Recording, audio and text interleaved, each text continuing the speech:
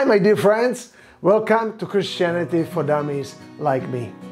I just want to show this piece of clay in here. This lamp without any form. It doesn't look like anything. And what is it to do with yours or my life and our uh, stress life and anxiety and all that and insecurities? Well, let's discover that in this video, which I invite you right now.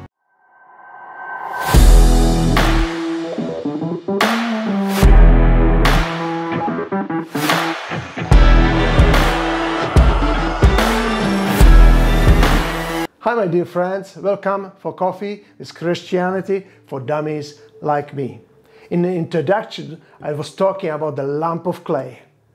So, what I would like to share with you today is that the very moment of life where you feel like you are uh, just nothing and everything is out of shape and there's nothing which you can uh, see uh, progressing in your life. There's this, this anxiety, this is the depression and all that. And one of the things which I try to introduce to is to trust in that invisible God, that God who truly cares for you, that He sent His only begotten Son, that whomsoever believes in Him shall not perish but have everlasting life. John 3:16. This is His commitment to you and I, and it goes beyond that.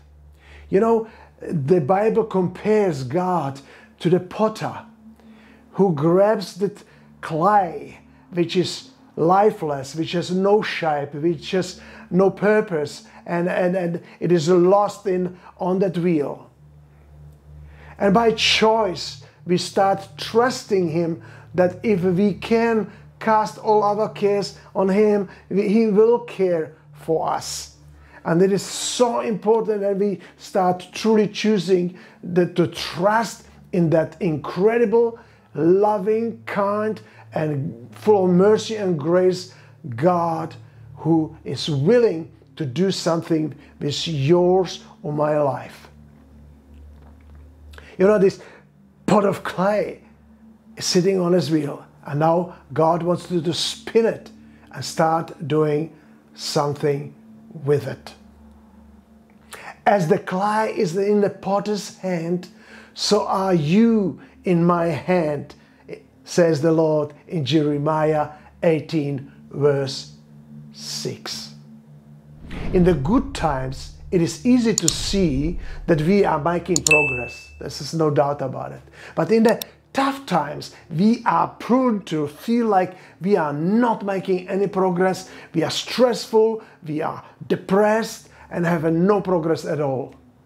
We react to pain, loss, and adversity in consulting our feelings rather than God.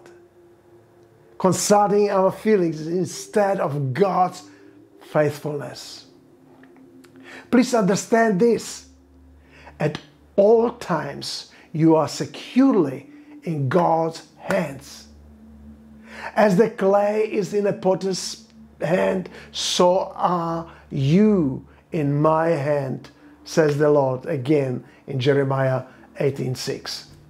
We need to start choosing and understand that we tried on our own, that we tried everything. We, we don't have the strength, we don't have the capacity, we don't have uh, the things, you know, in, in all this, all this uh, positive thinking uh, people uh, teaches you and I that we are all, that we have everything to do and we can do it and we can do it. And you, you, you experience yourself. You try so many times. You try and you're falling on, on the, in the trap over and over again. But there is a something which is higher than you and I. It's a something far more powerful, something or someone who truly cares, regardless of your strengths or weaknesses. And He is willing to do something with you and I. You are work in the progress, and the crucial things isn't your circumstances or feelings, but the potter's commitment to finish what he began. You are work in the progress, and the crucial things isn't your circumstances or feelings, but the potter's commitment to finish what he began. You know, God is it's it's prepared to to invite you into into uh, His life and, Him that you invite him into your life and he is willing to, to, to, to help you and strengthen you and lead you through every circumstances in your life. And most of the time okay when everything is okay you don't care. But you know when the rubber hit the road when the shift is the fan the everything collapsing around we need to know where we turn up to. And this is only one only one not your friends, not the doctors, not the only one who can really truly help you. He's the one. He who has begun a good work in you will complete it until the day of Christ. It says in Philippians 1 6. I repeat it again. He who has begun a good work in you will complete it until the day of Jesus Christ. What does it really mean? It means that He will never give up. He will keep going until you're shaped into that where you're supposed to be. It might take a little while, but it is up to you and I to, to allow Him to, to, to, to surrender our will and our life into His hands, the hands whose only hands who can shape us into the life which we truly should have and could have in Christ Jesus. Here are two things you must remember while you are spinning on that potter's wheel. Number one, the potter has the right to mold you as he sees fit. You see, nothing can prevent him from making you into what he wants you to become. And remember, he, he is desiring the best for you. And he is an expert at turning lumps of clay into objects of value and usefulness. Does not the potter have power over the clay from the lamp to make one vessel for honor. Romans 9 21. You know, God's desire is, is for you and I to, to, to be human beings as close as possible to His image. That is His desire. That is His determination to do anything possible in, in, in, in our life to already have this eternal purpose, the eternal life. And, and He's working on you and I now already if we just surrender to Himself. I say it again in Romans 9:21. Does not the potter have power over the clay uh, from the lump to make one vessel for honor? Your job is to stay on that wheel and let God make you into what He desires you to be. And it's only the best. Point number two the potter has an individual plan for each lump of clay.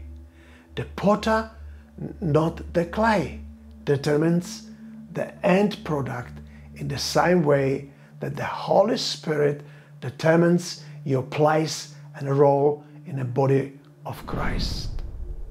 That says in 1 Corinthians 12 18. You say yes to God you say yes to the one whom you don't really know, but you trust and choose to, and you are getting him more and more now.